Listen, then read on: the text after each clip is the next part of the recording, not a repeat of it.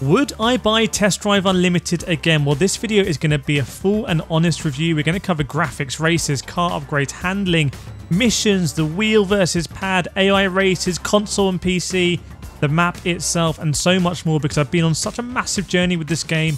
I pre-ordered the game for $100. Now, would I do it again? So let's get into it. So we're going to start with graphics here. This is a big point on my journey and also the game. So on the right hand side, we've got the game on PC.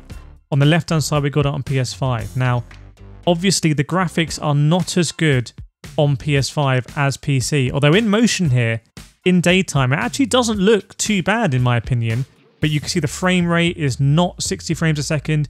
You have a performance mode or you have a graphical mode, and neither of which gets near PC. Well, it can run at a 4090 because also on the right hand side, we're running that on an RTX 4090. So the game is just generally not the best optimized. And in my position, having a gaming PC and a PS5, I I can tell you now, I would not buy this game again on PS5. Or at least I wouldn't buy it $100. I might buy it at, I don't know, 20, 30. But there is, as you can see here, a Golf with the PC version. I do have a review copy of the game on PC.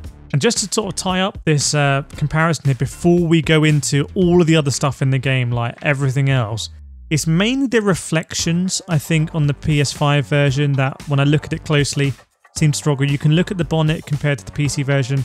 Also, we're in a chase camera. Yes, slightly different paints, but the paints in the PS5 version never feel like as reflective as they should do.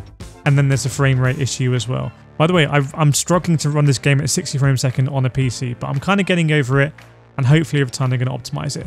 So let's get into the meat of the game. We're going to talk about races now. Later on, we're going to get into all the other features like the map and fast travel.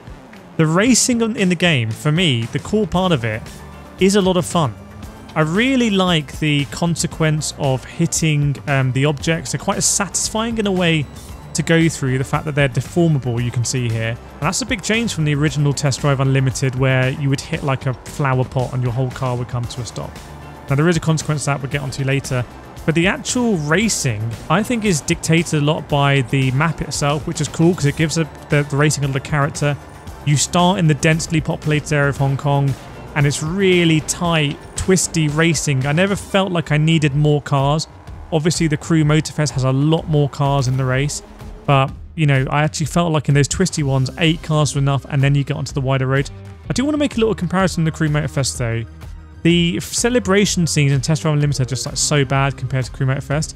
You can see here just on the left hand side, you feel more like a Don, more like a G, and you don't necessarily in uh, Test Drive Unlimited. It can also be a bit awkward for the race as well. It's like very sterile, and that's even if you get into the race. Anyway, lobby issues, there was so much of it at launch. Let's get into customization, and then I'll actually show you how this impacts the handling of the cars. I'm pretty disappointed by the visual customization. But I'm not that disappointed by the performance customization. There's obviously many different ways of cutting this. I remember the Crew one was like really simplistic. This is slightly more realistic, but it's again done in a way that's meant to be accessible. It's not like a proper tuning game. It's not like Gran Turismo. You kind of get guided like, do I want more power? Do I want more brakes? Do I want more handling, for lack of a better word? So I kind of like that. And you can see here the visual customizations as well. Again, I think lacking on visual customization compared to the Crew Motorfest Forza Horizon 5. Yes, you can do your trim, and that's cool because you're going to be spending a lot of time in first person, albeit there's a big issue you need to sort out. But I feel like you can't really stamp your personality on the car. It's more like you're buying a new car. And I've never bought a new car in my life. I only ever bought second-hand cars. So that's maybe something I don't fully understand. So how does it affect handling? I'm going to show you a mission here, and I'm going to show you me upgrading the car, or what happens when I upgrade the car. And you can see here in the rain, I'm actually struggling to get the power of the car down in this uh, environmental condition, which is really cool. You're going to see the back end sliding around a lot. I absolutely love this handling. I love teasing the back end out. I love using it to push around corners in you know in a real drive car like this Mustang. It's really satisfying and you can kind of feel the weight and consequence of the cars and you have to control it and there's a nice bit of counter steer. There's no nitrous to get you out of it. It's not like the Crew Motorfest or games like that where you get sort of this free nitrous. It's a little bit more grounded. Absolutely love it, and you can understand how you're racing relative your car performance relative to other cars. And look here, I go through these. Look how much it slows me down. That's what exactly what I meant when I said on the one hand it's fun, on the other hand it slows you down going through stuff. I like that balance. This is, by the way, when I chose my uh, clan. I didn't like either of them. First person I met here was Mr. Uh, Udsex, who uh, is a fellow West Ham fan. So very nice there, driving a Jaguar R Coupe. That's the first person I met. That was my introduction to the game. And uh, this is a mission you do, by the way, when you want to choose, when you, when you want to get into the clan. Had to beat this guy in his uh, Mini Cooper. I'm going to place an ultra wide here for a little bit. Just show you sort of the field of view you get in ultra wide. Again, you, you can't do this on console, but you can on PC. And by this stage, I'd tuned the car a little bit and I was just able to get the power down a bit nicer. You can see it's a bit more focused. And I'm going to show you here sort of like how the racing goes down because it's it's in it's like city racing. You can see here I hit this barrier. I'm way out in the lead. I've sort of switched off a little bit. He zooms past me. If you look, you see we're lap two out of two. We're very near the end of the race. I was like, I really don't want to do that again. And I'm actually driving like properly on it here to try and just finish the race ahead. And that's the sort of nature you get. You see there's actual traffic here on this road as well. But that's what you, you get with the sort of dynamism of the racing. I quite like it. Some races are, are no traffic, like the time trials, time attacks. Some races have lots of traffic, and it gives it that sort of Midtown Madness character, which I love. Now I'm a fully paid up member of the Sharks, I don't care about. What I do care about, though, is wheels. And I had big issues with wheel support. Remember, I played this game, demo, various betas, console, PC. Never really got my Moza equipment working with it. I think that's more of a test drive limited thing than a Moza thing. But on my Thrustmaster, generally really, really, really satisfying. Really, you know, really nice to play on Thrustmaster.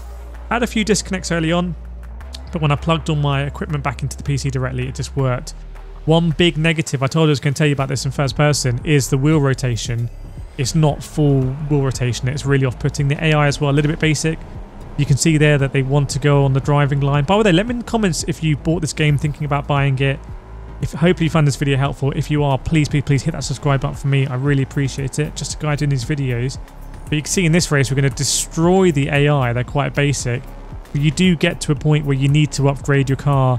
And then you're thinking, do I want to spend it on upgrades of this car? Do I want to save it for a new car? Now, I was a little bit disappointed by the amount of cars in the game. I've got to be honest with you. There's not a lot of dealerships. You can see this is me quite early in the game when this is recorded. But there's not that many more that appear. Look at the map as well. It's like actually a 3D map.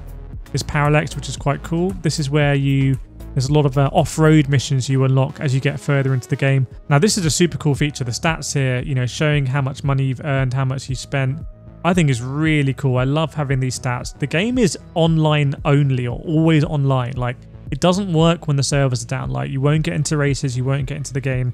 There has to be some benefit, and this is the benefit side of it. But the Crew Motorfest and the Crew 2 are going to have an offline mode. And I think this is going to need to be a big strength of, the, of Test Drive Unlimited. They're going to need to actually do a lot of live service. Because at the moment, my big criticism would be I'm kind of like hoping for a little bit more. I want a little bit more in the game. I want more things to do. I want more variety. I want more cars. I want more events. You know, I want pedestrians. I want more traffic. It's just a little bit of more. Like, I feel like there's a really good solid base of the game with the handling and the map itself, but I just want more added to it. And maybe this is something they're keeping in their back pocket. So hopefully you've enjoyed this video. Yes, I did waste my money on PS5, but I'm happy with the version on PC, which I did get a review code for. Let me know your thoughts and I'll see you next time.